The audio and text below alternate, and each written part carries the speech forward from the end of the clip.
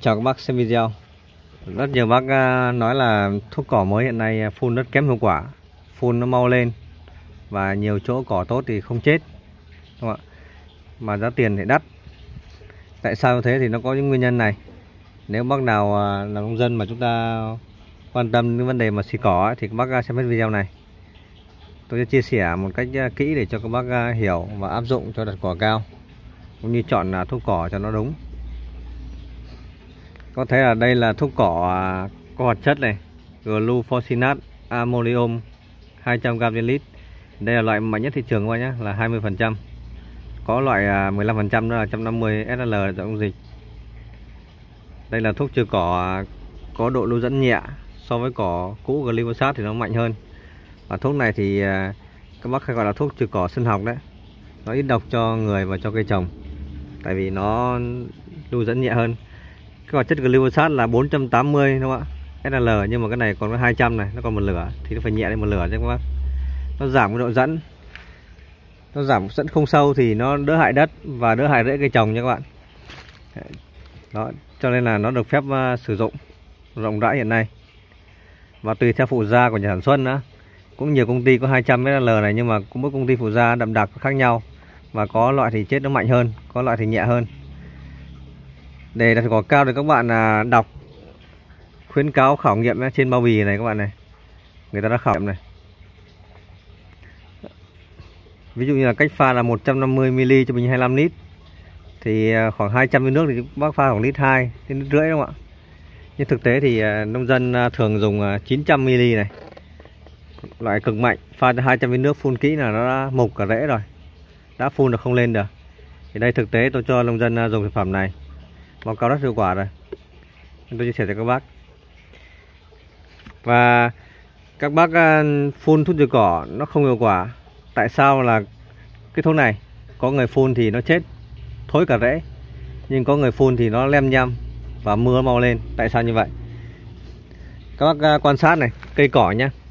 Tất cả cây cỏ các bạn. Đây, tôi nhổ một cái cây này. Nó đều có cái phần nõn. Đây nhá. Phần nõn này phần nót của nó chạy. Các bạn xé cây cỏ ra, các bạn thấy này. Phần nót của nó chạy xuống tận gần tới dưới đây. Khoảng tầm này. Đây này. Nó có một cái khớp này phần nón nó sẽ chạy từ cái lá dưới cùng này, chạy lên trên. Nếu cỏ các bạn thuốc cỏ các bạn tiếp xúc mà phần này đổ lên đấy thì mưa, cái nón này sẽ lên rất là nhanh. Phần xanh nó còn. Còn nếu các bạn phun dưới phần này á, thì cái cỏ này nó sẽ dẫn xuống tận rễ. Đây, rễ ở đây cho nên tôi hỏi các bạn á khi nó phun thì chúng ta đưa cái vòi sát vào phần gốc này gần phần rễ này để cái thuốc này nó dẫn tận rễ. Và khi nó dẫn tận rễ thì phần trên này các bạn nó có xanh ấy, nó cũng chả tác dụng gì cả. Rồi nó cũng mục nó héo nó thối rễ mà thối thì cái phần xanh này trên chả tác dụng gì đúng không ạ? Đó là cái phần mà các bạn phun kỹ. Tại vì cây cỏ các bạn thấy không? Nó sát nhau cái này. Các bạn phun ấy, nhiều khi là nó không xuống được phần à, phần dưới rễ đây mà chúng ta chỉ phun trên mặt thôi. Ví dụ như một hecta các bạn phun 10 lít đi. Còn dân cũ thì các bạn phun 6 lít 7 lít là nó hiệu quả nha. Nhưng cỏ mới này á, chúng tôi khảo nghiệm là phun từ 8 đến 10 lít. Có nghĩa là phun đủ nước, phun kỹ đấy. Nhưng các bạn chỉ phun một hecta có 5 lít.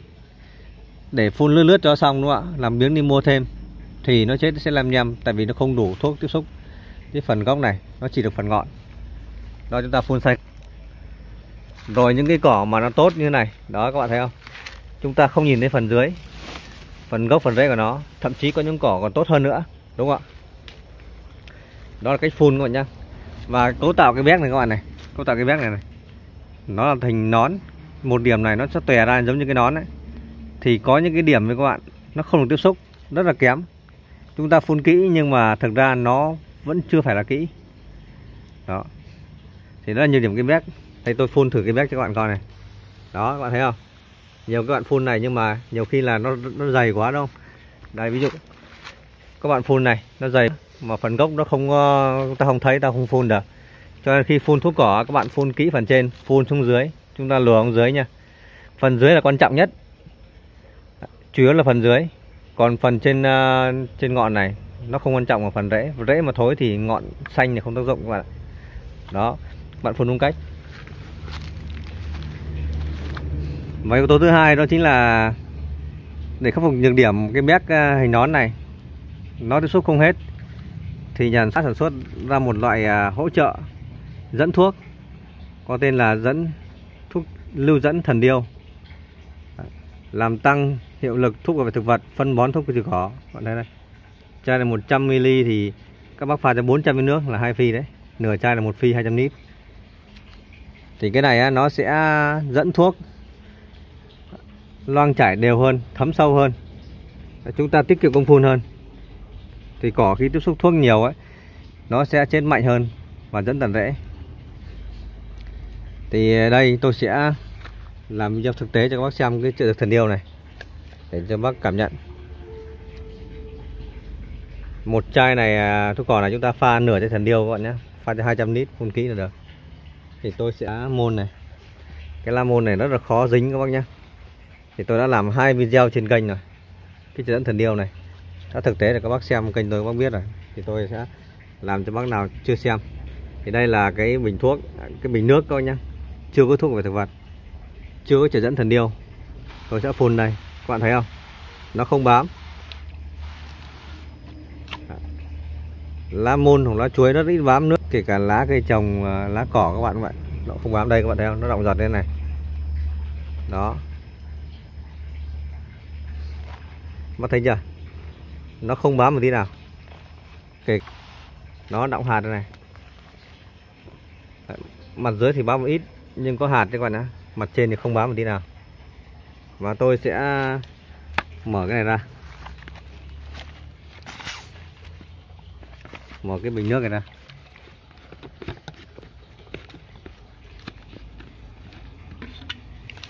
Video này khá dài, các bác xem kỹ nhé và tôi sẽ lấy cái chai thần điều này, đã khui sẵn này chỉ dẫn thần điều này. Đối dẫn thần điều này thì các bác có thể à, pha chung với thuốc về thực vật, thuốc đẹp sáp, rồi à, thuốc nhện đỏ, thuốc nấm bệnh. Những cái mà bệnh à, khó trị ấy. những cái bệnh mà khó trị mà các bác phun nó thấy không hết thì các bạn pha chung mà nó loang chảy thấm sâu. Mưa đỡ rửa trôi. Đây thì tôi sẽ lấy khoảng à, 1 cc là 1 ml là 20 giọt. Thì à, tôi sẽ lấy à, cái này 1 lít rưỡi. Tôi sẽ lấy là 10 giọt.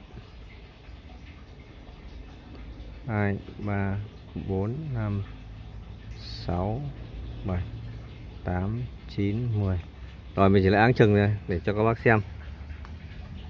Lắc đều lên. Thần điêu của chúng ta pha chung với thuốc trừ cỏ thì nó thấm khô và lá rất là nhanh thẩm thấm rất là nhanh. Và có mưa sau tầm khoảng à, 10 phút thì nó rất hạn chế rửa trôi. Thì à, thuốc sẽ thấm sâu cỏ tốt hơn. Đấy, ta lắc đều lên. Sau đó bơm hơi lên.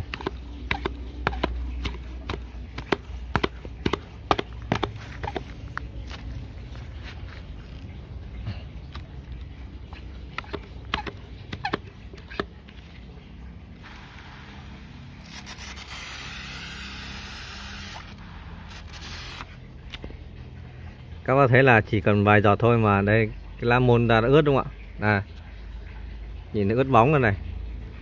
Đó và khi phun lên cỏ thì có thấy này.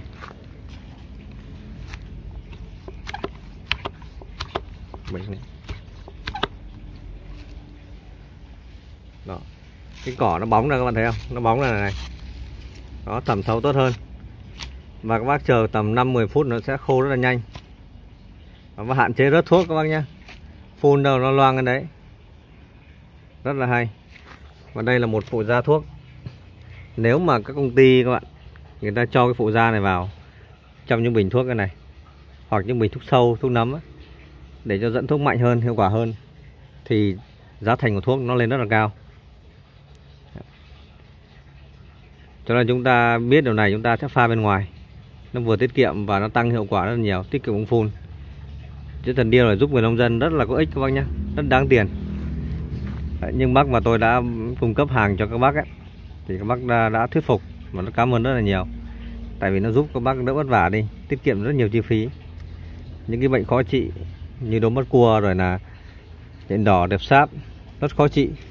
Thì pha cái thuốc thần điêu này vào á, nó tăng hiệu quả thuốc lên gấp hai ba lần. Chúng ta đỡ phải phun nhiều lần. Và đặc biệt video này thì à, tôi hướng dẫn cho các bác pha thuốc cỏ nó sẽ làm tăng khả năng của thuốc và hiệu quả nó cao hơn. Nó sẽ dẫn tận rễ thì cây cỏ nó mục rễ thì nó sẽ không lên nữa. Và có mưa thì nó hạn chế bị rửa trôi, nhất vào mùa mưa.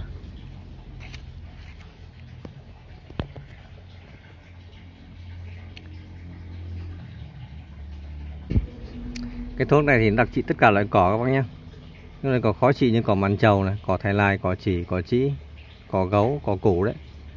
Những cỏ mà có rễ sâu ấy. nó là mạnh nhất hiện nay trên thị trường này phụ gia rất đặc biệt. Các bác pha thêm mấy thần điêu thì nó càng tăng hiệu quả nhé. Rất là cao. Nhiều bác thì kinh nghiệm là pha thuốc cỏ với phân bón SA, ure, kali nhưng mà khi chúng ta pha phân ấy, nó cũng chết cũng đạt đấy các bác. Nó vàng nó đạt. Nhưng mà sau này mưa các bạn phân nó sẽ tan ra nó sẽ lỏng ra và nó lên nhanh hơn còn thần điêu này thì nó sẽ không có làm cỏ mọc được. Nó không có tác dụng là phân bón nên nó không có làm cỏ tốt được. Nó, nó có ưu điểm như thế. À, video tôi chia sẻ cho các bác à, cách chúng ta phun thuốc trừ cỏ hiệu quả cao và dùng à, thuốc đúng cách phun. Và các bác không biết mua sản phẩm này đâu tại vì một số hàng tốt nữa các bác một sông xa ấy, công ty chưa tới được ấy thì tôi có mở một cái shop uh, bán hàng online uh, cung cấp thuốc về thực vật uh, qua hình thức là chuyển tới tận nơi cho các bác. Thì các bác có nhu cầu mua hàng ấy thì các bác uh, liên hệ Zalo miễn phí số điện thoại là 0967 8029 chúng tôi sẽ sẵn sàng phục vụ các bác. Đấy, chúng ta sẽ giúp nhau uh, đôi bên cùng có lợi. Tôi cũng kiếm một chút kinh phí uh, rồi các bác có thể nhận được những hàng tốt chất lượng cao cho đạt hiệu quả. Cảm ơn các bác.